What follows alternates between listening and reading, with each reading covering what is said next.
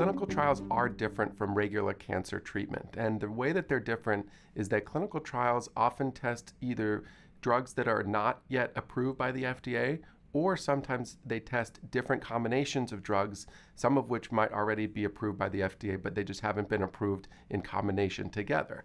So, clinical trials are really new ways of giving cancer treatment, either new drugs or new combinations, or maybe even existing drugs given in different schedules or different doses. So, clinical trials are testing new ways that we hope and expect are better than conventional approaches. However, because we're not quite sure exactly how certain treatments are going to be, that's why they're considered clinical trials and not standard types of treatment.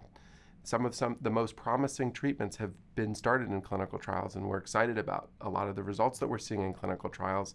Yet it's really important for patients to understand how much is known so far about the clinical trial that I may be considering, what are the benefits, what are the potential risks, and how does this compare to a standard approach I might otherwise take.